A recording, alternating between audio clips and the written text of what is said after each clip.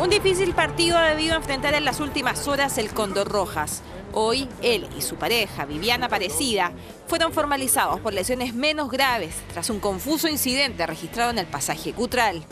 Paola Toro dice que tras sacar su vehículo, habría pasado a llevar el automóvil de un familiar del ex arquero. Este y su mujer habrían reaccionado con violencia y de forma alterada, golpeándola a ella y a su hija. Bajó alterado, gritando garabato, yo lo traté de calmar, me dijo tú no te metáis, eh, así tratando mal a mi suegra, garabato y a mí también.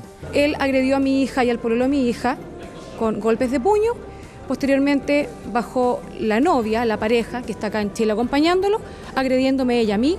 No venía con hábito alcohólico, pero no sabemos si venía con droga o no, porque cómo venía tan exaltado. La mujer señala que quedó con un esguince tras la agresión.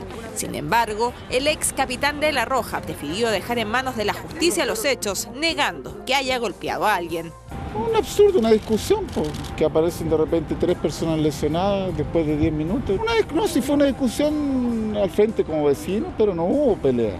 Durante la audiencia, la jueza Karen Matala cuestionó que no se acordara una salida alternativa ante la baja penalidad del incidente. Se estimó prudente continuar eh, investigando esta causa a fin de que se pudiera determinar eh, el verdadero carácter de las lesiones. Creemos que en esta oportunidad es desproporcionada la solicitud del Ministerio Público, porque a la larga lo que se corre es que don Roberto pierda su trabajo como preparador de arqueros y su pareja también pierda su trabajo en Brasil.